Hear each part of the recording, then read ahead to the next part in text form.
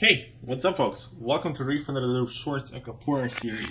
Today, in our second episode, we're talking about tank stability.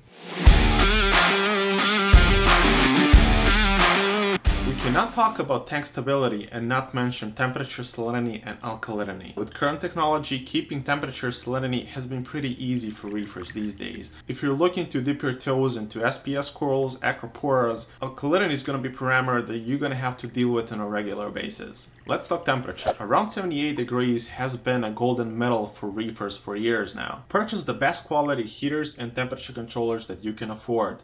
I like to get multiple heaters instead of one big one and calibrate my temperature controller and my heaters with multiple thermostats. I have always been preferring heaters that are reliable and they have thermostat on them since that thermostat can be backup on top of my temperature controller. Always a good habit as far as heaters and temperature controllers go is to replace them once a year. You can use a chiller to cool your tank down but my preferred way for years has been to use a fan instead. Salinity. Keep your salinity around 35 and again purchase the highest quality ATO system that you can afford. Good practice is to clean that ATO sensor often. I clean mine every single time I do my water change and use a spray bottle with RDI water and make sure that sensor is nice and clean. As far as measuring salinity goes, I'll try to stay away from cheap hydrometers and go with a refractometer and every single time before you use it make sure that it's calibrated. Alkalinity is next on the list. That's the one we test most often and I usually test mine at minimum twice a week. And after testing alkalinity, if you need to do any change to alkalinity level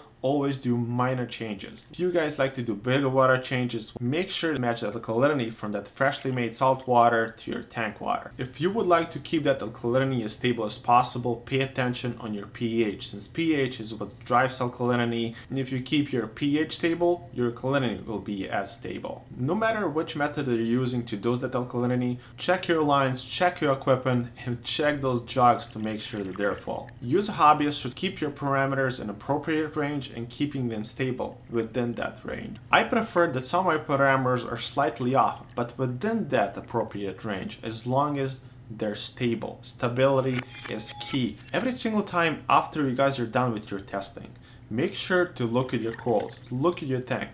If everything is looking good and something slightly off, always do minor adjustments. If something is wildly off, make sure to double check that before you do any major changes. Take your time, order a new test kit, as long as your coral's looking good, you should be happy camper. If you guys would like to hear more from me, check out the rest of the episodes from my Acropora series in the description down below. With all that out of the way, see you guys next video.